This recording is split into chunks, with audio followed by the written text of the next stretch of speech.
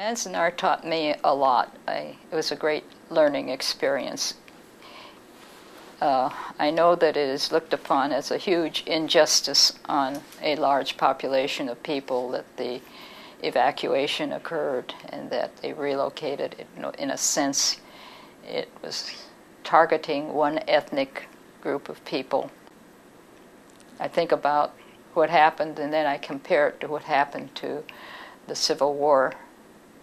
I think about what happened to the uh, Native Americans who were here in this country before the uh, European population came, what we do to each other.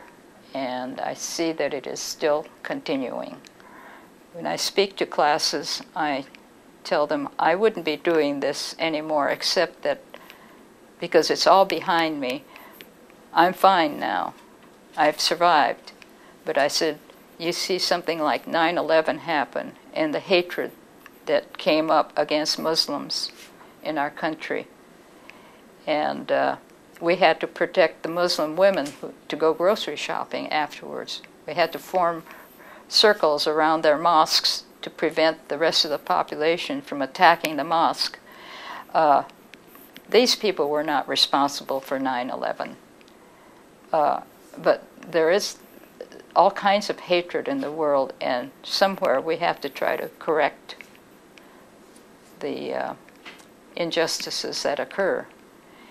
And I speak to college students and I say to them that you're the future of this country and the world. It's not going to be perfect, but if we're going to have a true society that helps improve, we must all work on it. That's it.